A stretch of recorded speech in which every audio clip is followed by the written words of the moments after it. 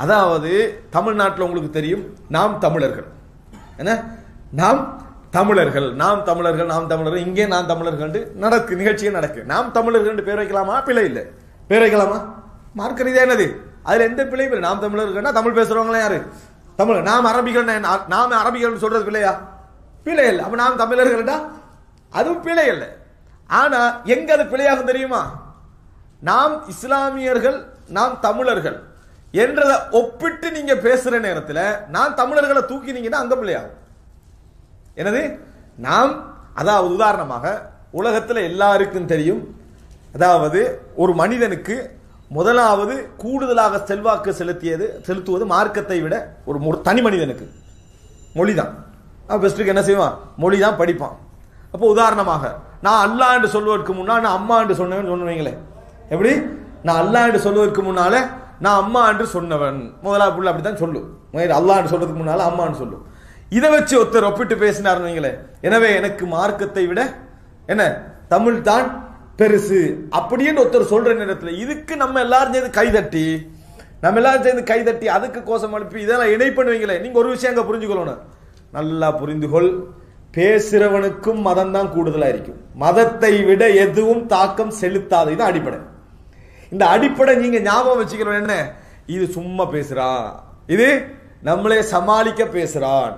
நம்மளையும் சேர்த்து கொள்வதற்காக என்ன செய்யறா? பேசுறான். நமது நலனுக்காக இது பேசப்படவில்லை. பேசவும் முடியாது. ஏன்? அவனுக்கு ஒரு அளவு தான் பொறுக்கலாம் அதுல. மொழியில கூட அவனுக்கு ஒரு அளவு தான் என்ன செய்யலாம்? பொறுக்கலாம். ஒரு எல்லையை தாண்டுற நேரத்தில் என்ன செய்யும் தெரியுமா? நான் உன்னை பாதுகாத்து பாதுகாத்து பேசியிருந்தா அப்படின்னு திருப்பி நீ வேறொரு மதம் என்றதை என்ன செஞ்சிருவான்? உங்களுக்கு காட்டிடுவான். காரணம் மதம் எப்பொழுதும் எல்லாவற்றை விட தாக்கம் செலுத்தும். இதான் நான் சொல்ல வந்த அடிப்படை. மதம் எல்லாவற்றை விட தாக்கம் செலுத்தும். அதனால நாம் தமிழர்கள் நம்ம இணையலாமான்னு கேட்டால் இணையலாம். சில உதவிகளுக்காக சில முயற்சிகளுக்காக சில அரசியல் முன்னடைவுகளுக்காக என் சமுதாயத்துடைய இணையலாம். பிழை இல்லை. அப்படி இணைகிற நேரத்தில் கவனமாக இருக்கணும். உலகத்திலேயே அக்வர் ரவாபித். இணைப்பு லிங்க்லயே மிகப்பெரிய பலமான லிங்க். மதம் தான் அது அவனுக்கும் அந்த குணம் உண்டு. எனக்கு அந்த குணம் என்ன செய்யுது உண்டு. எனவே அது இல்லை எங்கள்கிட்ட அதெல்லாம் இல்லை அப்படின்னு சமாளிக்க கூடாது. எல்லாரும் ரத்தத்திலையும் ஊறி இருக்கிற விஷயம் அது. எல்லோருடைய ரத்தத்திலையும் ஊறி இருக்கிற விஷயம். அதுக்கு சின்ன உதாரணம் ரசூல் ஸல்லல்லாஹு சொன்னாங்க எதிர்காலத்தில். அதாவது இஸ்லாமிய சமுதாயத்துக்கு எதிராக திரண்டு வரக்கூடியவர்களுக்கு எதிராக கிறிஸ்தவர்களும் முஸ்லிம்களும் என்ன செய்வார்கள்? ஒப்பந்தம் பண்ணி கொள்வார்கள். ஒப்பந்தம் பண்ணி அவன் பொது எதிரி. யூதன் வந்து என்ன? பொது எதிரி. ஏ அக்கரபுல் ம- முஸ்லிம்களுக்கு மிகவும் நெருக்கமானவர்கள் யார்? கிறிஸ்தவர்கள் எல்லா வகையிலையும் எனவே அது அவங்களை இணைச்சிடும் அப்போ அது இணைச்சோடனே நம்ம எல்லாம் மறந்துடுறது. நம்ம எல்லாம் மறந்து நம்ம சகோதரர்கள் தானே. நமக்கு நம்மளுக்கு என்ன டிஃப்ரெண்ட்டு நீங்கள் கூட ஈசா இஸ்லாத்தை கொஞ்சம் தூக்கிட்டீங்க. நாங்கள் ஒரு அளவு என்ன செஞ்சுக்கிறோம்? வச்சுக்கிறோம் ஓவராக பேசிடுறது. விளங்கிட்டா? அப்படி பேசிடக்கூடாது. உங்களோட எல்லையில் நீங்கள் இருங்க. எங்களோட எல்லையில் நாங்கள் இருங்க. எது நம்ம உடம்பட்டிக்கிறோம் அதில் மட்டும் நம்ம நல்லா என்ன செய்வோம்? இருப்போம். வேண்டாம் அதான் பெஸ்ட்டு இதை புரிஞ்சவன் அப்படிதான் நடப்பான். இந்த உண்மையை புரிஞ்சவன். அப்படி நடக்காம ஒன்றுக்குள்ள ஒன்று ரத்தத்துக்குள்ள ரத்தம் பண்ண மாதிரி மாறினீங்கன்னா அந்த யுத்தம் வெற்றி பெறும். ரசூலுல்லாஹ் சொல்றாங்க அந்த யுத்தத்துல வந்து முஸ்லீம்களும் கிறிஸ்தவர்களும் சேர்ந்து வெற்றி பெற்றுவாங்க எதிரிக்கு அப்ப அவன் என்ன சொல்லுவான்னு சொன்னா கலப சலீம். சிலுவை வெற்றி பெற்றதுன்னா ஒருத்தன் கத்திடுவான். அவர் ரத்தம் அதுதானே. சிலுவை வெற்றி பெற்றது ஒருத்தன் கத்துவான். உடனே ஒரு முஸ்லீம் அவரை என்ன செஞ்சிருவாரு? சிலுவை பெறா வெற்றி பெற்ற நம்ம ரெண்டு பேரும் தானே வெற்றி பெற்றோம். என்று அவருக்கு என்ன செஞ்சிருவாரு? போட்டுருவார் போட்டா ரெண்டு பேருக்குள்ள சண்டை ஆயிரும் இப்ப என்ன நடந்தது? ரசூலா சொல்லி இப்படி நடக்கும்னா எதிர்காலத்தில். இப்போ என்ன நடக்குது? சிம்பிளாக என்ன செஞ்சிடும் அது அது வேகமாக உடஞ்சிடும். ஆனால் ஒரு முஸ்லீமுக்கும் முஸ்லீமுக்கும் உள்ள சப்ஜெக்ட் இருக்குது.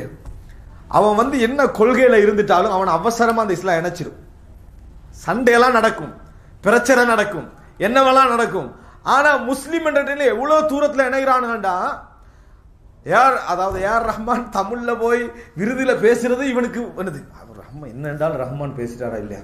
ரஹ்மான் தமிழ்ல தமிழ்ல பேசுறதுக்கு சந்தோஷப்படுறது வேற. யார் ஏர் ரஹ்மான் பேசினத்தை விருதை சொல்லி இவன் சந்தோஷப்படுற எதுக்கு சந்தோஷப்பட தமிழுக்கு சந்தோஷப்பட்டானா முஸ்லீமுக்கு சந்தோஷப்பட்டான் அவன்? முஸ்லீமுக்கு தான் அவன் சந்தோஷப்பட்டான். அவன் தமிழுக்கு சந்தோஷப்படலை. அவன் சந்தோஷப்பட்டது எதுக்கு தெரியுமா? ஏ ஆர் ரஹ்மான் அந்த பெயர் அதான் அவனுக்கு ஏற்படுத்தின சந்தோஷம். அப்போ புரிஞ்சுக்கங்க இது என்ன காரணம்? அப்படி சந்தோஷப்பட்டே இருக்க கூடாது வேற விளங்கிட்டா இதுல நம்ம என்ன புரிஞ்சுக்கணும்டா இந்த சந்தோஷம் அவனுக்கு எப்படி வருது? அந்த மதம் இருக்குதானே? அது அவ்வளவு அததான் ஒரு அதாவது தவறான மத கொள்கைக்கு நம்ம இது உதாரணமாக சொல்லலாம். மதம் என்பது அபின் ஒருத்தர் எடுத்து கம்யூனிஸ்ட் சொன்னானா இல்லையா? சொன்னா இஸ்லாத்தை பொறுத்த வரைக்கும் இஸ்லாத்துடைய ஆன்மீகம் இந்த எந்த ஆன்மீகத்துக்கும் கிட்ட நெருங்காது. அது தூய்மையான ஆன்மீகம் அதை நான் விளங்கப்படுத்துவேன். ஆனா இந்த இடத்துல நம்ம புரிஞ்சுக்கொள்ளணும் மதம் எல்லாத்தையும் தாண்டி செல்வாக்கு செலுத்தும். யாராவது மதத்தை ரெண்டாவது ஆக்கி தமிழால் அப்படின்னு சொன்னா அது அந்த இடத்துக்கு நல்லது. அந்த இடத்துக்கு நல்லது. இப்படி நாம் தமிழர்கள் பேசக்கூடியவங்க வந்து அதாவது நீங்க பார்க்கலாம் என்னன்னா ஒரு ஒரு ஒரு அதாவது இந்த சேனல்ல பேட்டி காண்றான். சரியா? ஒரு சேனல்ல பேட்டி காண நான் பேர்களை சொல்லல. அப்ப பேட்டி காண்ற நேரத்துல கேட்கிறவர் கொஞ்சம் என்னது விவரமான ஆள். அதனால அவர் ரெண்டு மூணு கேள்வி கேட்கிறார். நீங்க வந்து என்னது நம்ம முருகன்லாம் முப்பாட்டன்லாம் சொல்றீங்க. நாம் தமிழர்கள்னா முஸ்லீம் அதை ஏற்றுக்கொள்வானா முப்பாட்டனாடு கேட்குறான். யார? முருகனை. முருகனை முப்பாட்டனாக ஏற்றுக்கொள்வாரா அப்படின்னு கேட்டா இல்லை அது வந்து நீங்க இப்படி பதிலே சொல்ல முடியாது அதுக்கு. ஏற்றுக்கொள்ள மாட்டா அதான் உண்மை. ஏற்றுக்கொள்ள மாட்டார் சிம்பிளா உடையுது அந்த இடத்துல. சிம்பிளா உடையுது. உடைச்சி உடைச்சி உடைச்சி போனவர் இப்போ இந்த நாட்டில் தமிழும் உருதும் பேசுகிற முஸ்லீம் இருக்கிறாங்களா? அவங்க இதில் சேர்க்கலாமான்னு கேட்குறாங்க அவங்க இதில் வரமாட்டாங்கன்றாரு. அவங்க இதில் வர மாட்டாங்க யாருக்கு கொதிக்கும் இது? முஸ்லீமுக்கு கொதிக்கும். உனக்கு நிலைக்கேள்மா அதில் நாம் தமிழர்கள் என்று சொல்கிற உனக்கு அதில் நிலைக்கேள்மான்னு கேட்டால் உனக்கு கொஞ்சம் ரத்தம் என்ன செய்யும்? கொதிக்க என்னடா மு- இந்த உருது முஸ்லீம்கள் தமிழ் பேசுகிறாங்களா இல்லையா அவங்க? அப்படி அதில் நாம் முரண்படுகிறோம். உனக்கு முடியாது. உன்னால் என்ன செய்ய முடியாது? முடியாது. அவர்களும் தமிழர்கள் தான் நீ சொல்ல சொல்லுவாய். அந்த இடத்துல பிரச்சனை என்ன செய்யும்? வரும். நான் இங்கே சொல்ல வரக்கூடிய மிக முக்கியமான செய்தி என்ன தெரியுமா? ஒரு மற்ற இதெல்லாம் நாடகம். சரியா? அதுல நலவுகள் இல்லைன்னு நான் சொல்லலை. ஆனால் இந்த உதாரணமா ஜல்லிக்கட்டு நேரத்தில் நம் மா அதாவது மாடு என்பது நமது தாத்தா நமது தங்கச்சி நமது அண்ணன் அவர் அதோட எங்களுடைய பிறந்து எங்களுடைய மௌத்தாரன் மாதிரி பேசினோம். பேசினாங்க. சரியா? மா இறைச்சி தடை என்ற நேரத்தில் நானே வளர்த்தேன் நானே அறுத்து சாப்பிடுவேன். என்ன பிரச்சனை? அப்படின்னு அதே நாக்கு மாறி என்ன செய்ய தாத்தாவை தங்கச்சி அறுப்போமா? அறுக்க மாட்டான். ஆனால் யாருக்காண்டி பேசப்படுது முஸ்லீம்களுக்காண்டி தான் என்ன செய்யுது? பேசப்படுது. உண்மையிலே முஸ்லீம்களுடைய மனதை ஆற்றுவதற்கு தான் அது பேசப்படுது. அதுக்கு தான் பேசப்படுது. ஆனா ஒன்று மட்டும் புரிஞ்சுக்கணும் அது நிலையல்ல. அது நிலையானதல்ல. எல்லார உள்ளத்திலையும் மிக செல்வாக்கு செலுத்தக்கூடிய விஷயம் அது மதம் தான் மதம் தான் செல்வாக்கு செலுத்தும். ஒரு இடத்துக்கு தான் நிக்கும் இது. ஒரு இடத்துக்கு நிக்கும் ஒரு இடத்துல சில பொழுது எங்கட உணர்வும் கட்டி தலவி முகானாக்கா பண்ணன மாதிரி இருக்கும். நிலைக்காது. என்ன செய்யாது? நிலைக்காது. இது ஒரு மிகப்பெரிய ஒரு உண்மை.